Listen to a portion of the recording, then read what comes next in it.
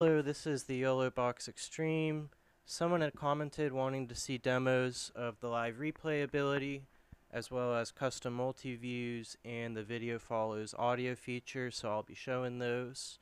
So I'll start with the live replays. So replay is pretty straightforward. You can see here on our screen. You can select whichever video sources you want to have being banked for replays. So that can be your program out or any video source that you're bringing in and those are going to be clean video sources, meaning any graphics or overlays on video sources won't be played back unless it's the program out being replayed, in which case they will.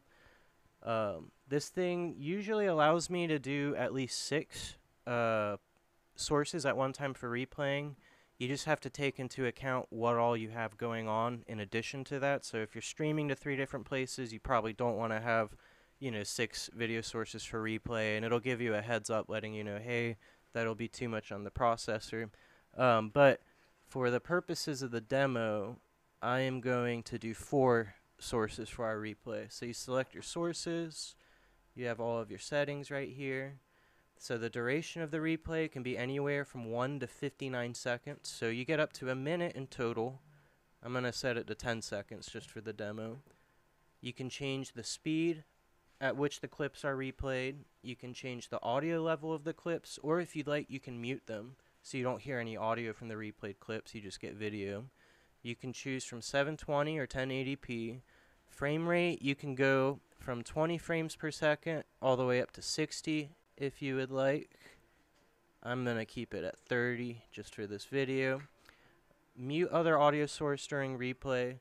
So that's what, what, what that'll do is just when you replay, if you want to mute any live audio or any of your audio sources coming into the extreme, you can do that as well. Um, replay mode preferences, so these options here. Once you hit replay and you bank some clips for a replay, you can set it so it automatically launches into replaying those clips. Or you can set it so it just sets those clips aside and you can go manually queue them up whenever you'd like. Or you can set it to bring up a little dialog box right after you finished uh, clipping some replays and it'll give you a choice to do either of those two there. Replay logo, that's if you want to bring in any graphics or any logos or titles, etc. that you could have on top of the replayed video. I think by default they actually have one of their own, but you can replace it with whatever you'd like.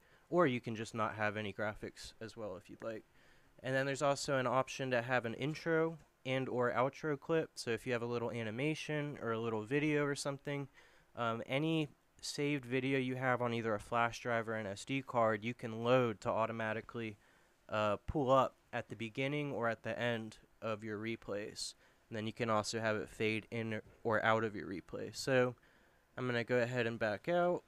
Once we've got all of our settings selected, you're going to come up here and tap to enable replays. And so now the machine will be ready at any time if I want to go and hit that replay button it'll bank clips of those four different videos going back 10 seconds. Um, again, you do have the option to go to up to at least uh, a minute. So I'm just going to move around here some just to get our replays ready. And so once I want a replay, I can come up here. I can hit that replay button. You don't have to be on the replay screen to do that. You can be switching, doing anything else. You can just come up and hit that button right there and I have the little dialog box. Do I want to play it now? Do I want to use it later? So I'm going to go ahead and hit play now, and it's going to launch into those replays.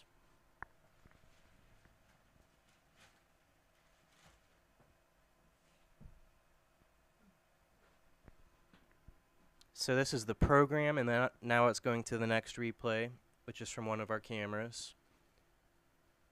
And that one's about to finish, and it'll launch into the next one. So I'm going to go ahead and stop our replays now. I'm going to bring you back over here with me. So, tell you what. So here's our little clip bank of our replays. Notice these check boxes.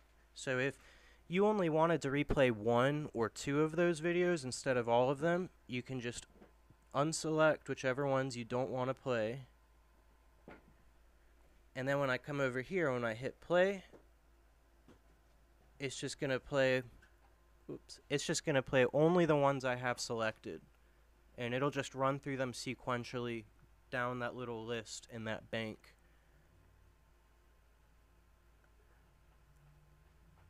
So you have, you know, some options. You don't have to replay every single clip. You can just choose whichever ones you want to replay. And then I'm going to go ahead and hit that replay button another time. This time I'm going to hit use later instead of play now so it doesn't automatically launch into the replay. And now when I bring you back over here, you can see this is our second little bank of replays. Here's our first one. These are still here. At any point, if I want to call those back up, I can. If I want to bank another uh, bank of replays, I can. And so these will be waiting here for me whenever I want throughout the course of this session or program. I could wait 40 minutes and come right back here and pull up any one of these and replay them.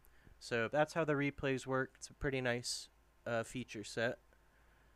Next up, I'm going to show off the video follows audio option, which is a really cool feature they uh, added in the Ultra some months back.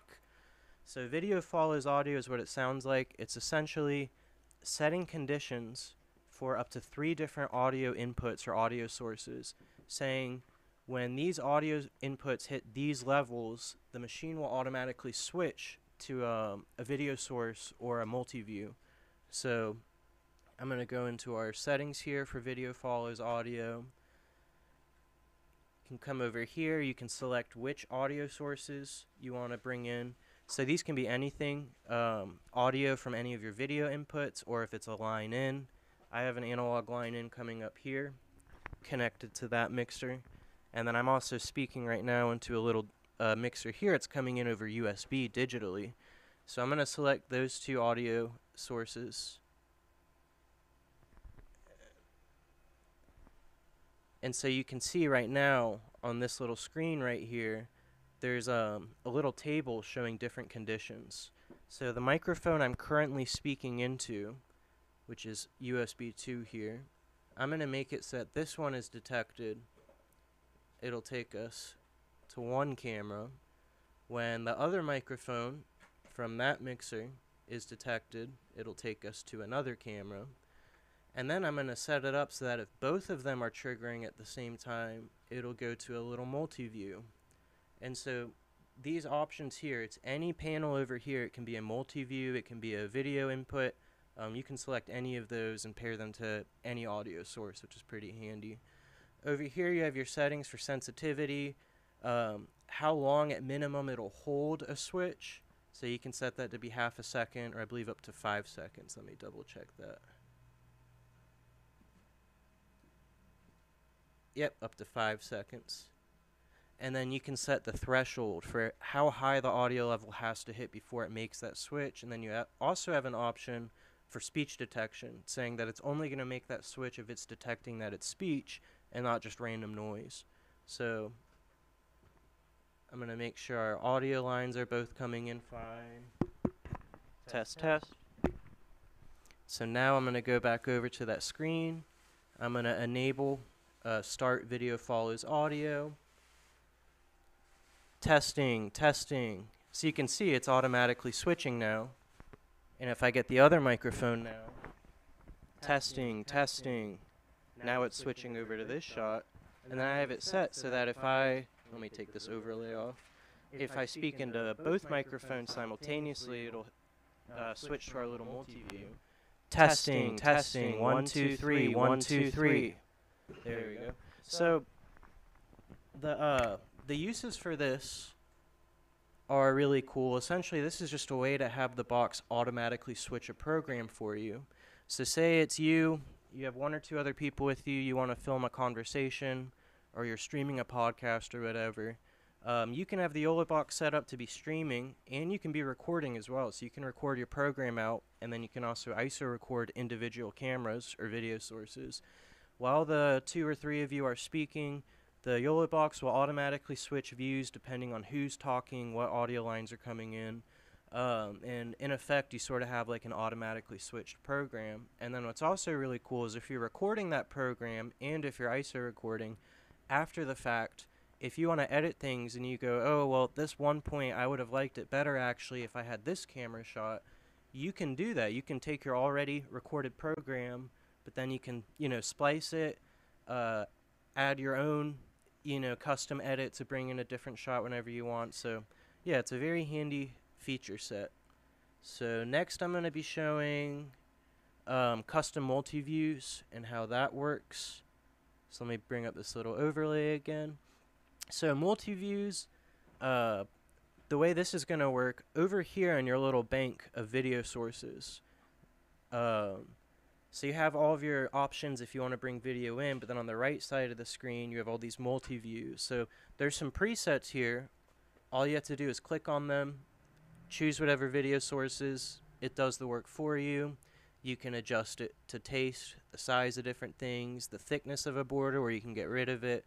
You can add backgrounds, and backgrounds can be videos as well as still images, which is really nice. And you can see there's a few different layouts here.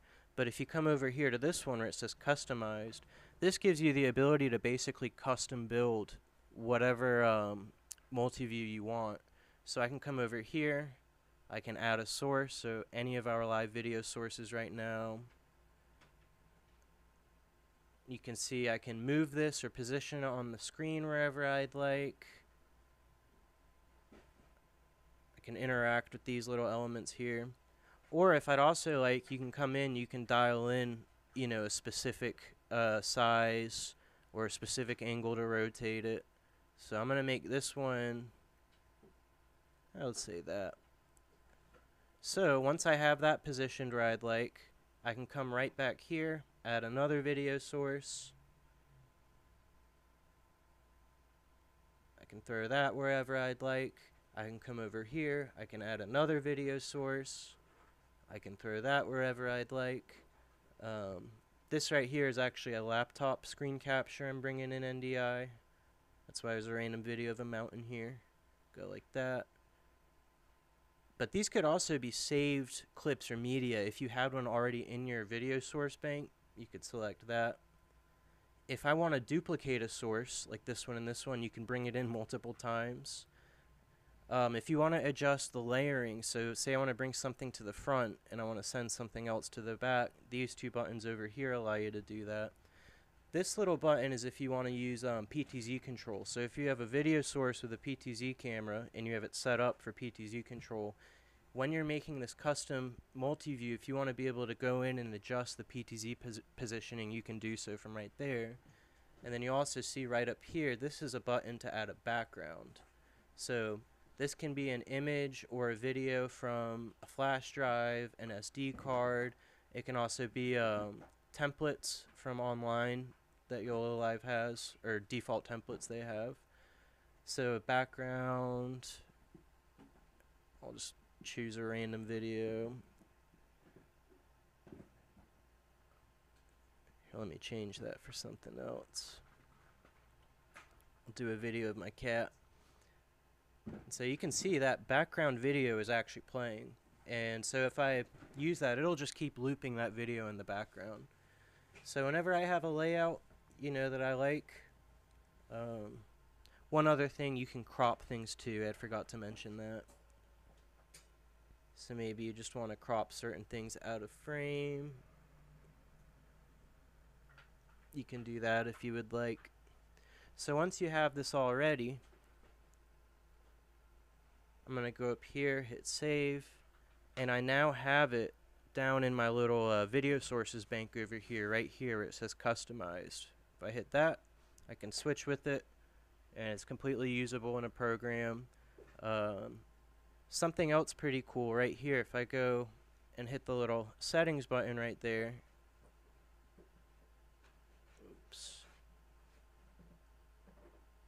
So I can rename that to whatever I would like. Just to have it labeled also if you would like you can duplicate it so now I have an exact copy of that uh, multi-view. And then if I would like, I could also take that copy, hit edit, and I can go and tweak it and maybe get a slightly different version. And you can see I have like six different videos here and the Extreme's handling it all fine. And it'll hold on to it and have it all ready for me there. So that's pretty cool. Uh, one other feature I guess I can show off now while I've got the opportunity as well is chroma keying. So let's see, let's get that. So you can see I have a little green screen up on the table up there. The way chroma keying works, um, all you have to do is go into your little bank of video sources here. And so for this camera, I'm going to hit that little options button there. And you see there's an option that says chroma keying up here. Click that. Come up here, enable key switching. And it's set to automatically work with either green or blue screens. Um, you don't have the option to fine tune that color. Uh, you do have a couple options though, I guess, for how aggressively it keys stuff out and how smooth, you know, it is. So I'm gonna redo this and just get the default settings. One second. Restore default setting. There we go. And so from this um, screen right here, I can either select an image to just automatically have being keyed with that one chroma keyed source, or I can leave it as is, and that'll just be transparent. And now while I'm switching, that video source will have that green screen keyed out. So I could either bring it in as a custom video overlay from the overlays tab, scale that up. And so now if I want to bring that up, that key, uh, chroma keyed source, I can bring it in as a video overlay and it'll show on top of whatever I have currently switched to from our video sources. Or another option you have is to create a, a, a custom multi-view with that chroma keyed video source. I'll show that really quick custom. Let's say I'll, I'll add our little video coming in from the laptop.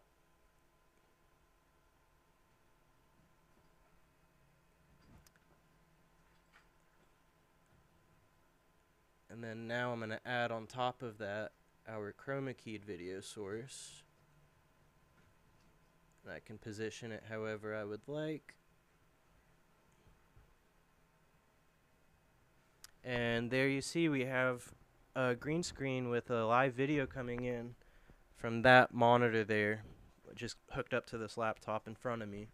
And that's coming out over um, NDI Screen Capture with NDI Tools, which is a free suite of uh, software tools for working with NDI. Um, another really cool thing I can show as well. So if I decide that I don't want to chroma key stuff anymore, go back to that same uh, screen, disable chroma keying. Now our source is back to normal. But say for whatever reason I wanted to chroma key it, but then I also wanted to have another version of it that I could switch to at any time that isn't chroma keyed. All I'd have to do in that case is go to that little setting screen, hit replicate.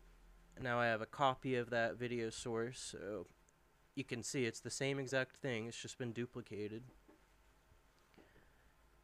And with our replicated source, now I'm going to go in and I'm going to enable chroma keying.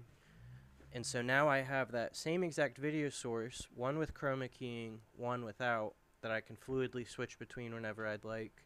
Or I could make five different custom multi-views to have different uh, backgrounds being keyed in underneath the chroma keyed source. So there's a lot of options there. Uh, this is a very cool little box. I'll be making a couple more videos pretty soon showing some more of the features it, it has. It does a lot of stuff. It's a lot more than just a live streaming box. It's a full-blown um, video switcher and video recording device, and it's all packed into a little portable tablet, which is very cool. So thanks for watching, and we'll be posting more soon.